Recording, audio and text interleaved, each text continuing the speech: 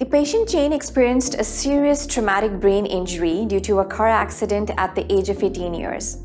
At the accident site, she presented a Glasgow Coma score of 4, wide fixed pupils, and decerebrate rigidity of all four extremities.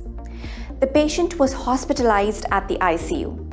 CT scans revealed diffuse brain edema and subdural bleeding with midline shift. An emergency decompression craniotomy was performed to reduce the intracranial pressure by removing parts of the cranium.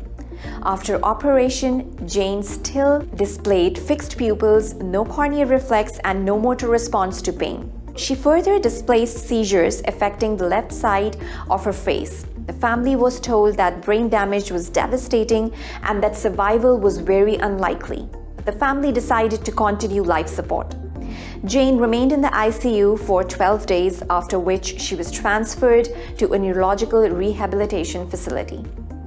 At admission, she displayed coma, acute subdural hematoma right-sided, brain swelling, artificial respiration, abnormal pupillary functions, severe spastic tetraplegia, tracheal cannula, percutaneous gastrotomy, decerebrate rigidity of all extremities.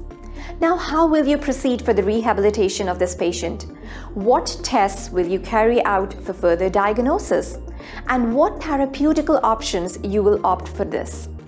To learn the management of this case, let's study about the coma in detail on sqadia.com.